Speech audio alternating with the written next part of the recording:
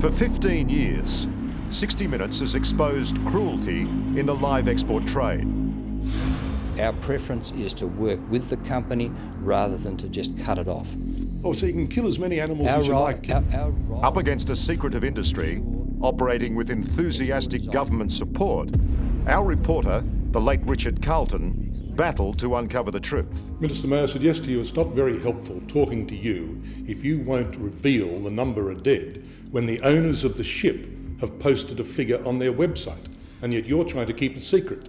I'm not trying to keep it secret. Now, Faisal Ullah's videos mean the exporters can't hide any longer.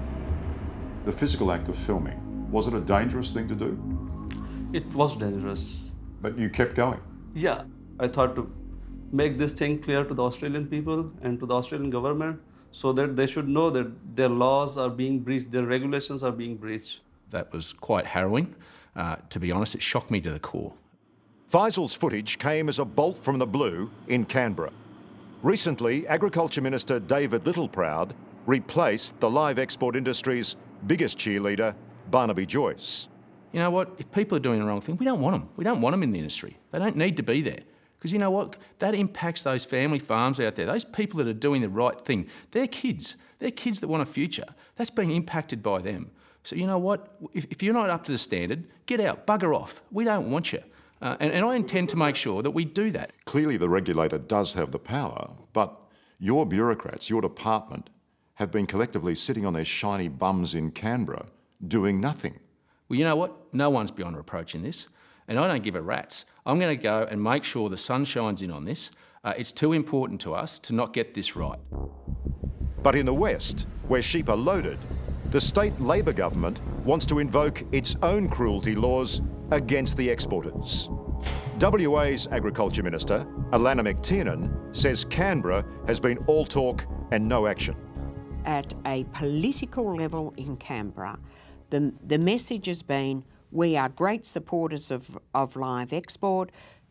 We want to go through the motions with these regulations, but we're really not serious. This whole expose has come about through a whistleblower. Yeah. If it wasn't for him, we'd, we'd still be in the dark. Exactly. You know what? I thank them for that. And you know what? We've got to create, I've got to create an environment where whistleblowers, individuals feel comfortable coming forward and raising this straight away with officials, that they know that the action is going to be taken, it's going to get investigated properly, and, and there's going to be consequences if someone's done the wrong thing. The minister's new broom will get its first sweep when the Awassi Express begins another voyage from Fremantle this week. It must carry fewer animals and an independent inspector reporting back daily to Canberra. The exporter is, once again, Emanuel Exports, run by Graham Daws. If that exporter is found to have breached the standards, as his own industry admits to us, what will happen? There's a range of penalties from suspension to full loss of licence to criminal charges, as I understand and have been advised. Just excuse me for shaking my head for a moment, because effectively you're giving the industry one more chance. Well, this exporter in particular is, is getting uh, um, the opportunity to, to sail. There's an investigation going on about his conduct. So Yeah, this exporter, this particular exporter, this exporter is a serial offender. yeah. Gee, you're a generous man. Well- he lost two and a half thousand sheep last August. The August before that, he lost 3,000, and you're giving him another chance. I can't change history. I can only influence the future. And you know what? I'm determined to do that and put those sheep, that if they do go uh, on Monday morning, uh, in, the, in the safest possible hands I possibly can.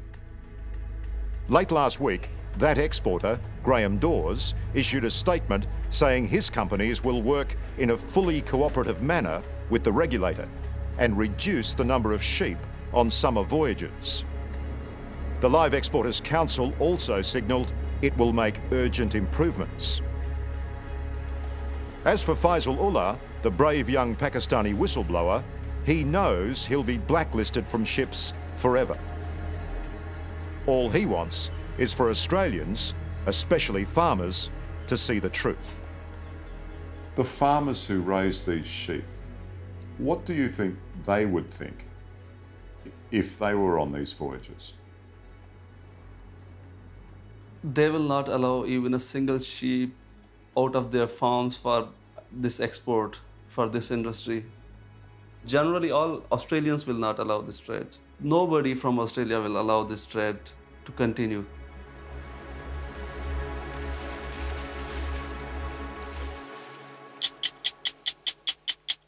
While Minister Littleproud assures us his inquiry into the sheep export industry will be thorough, 60 Minutes won't let the issue be swept under some bureaucratic carpet.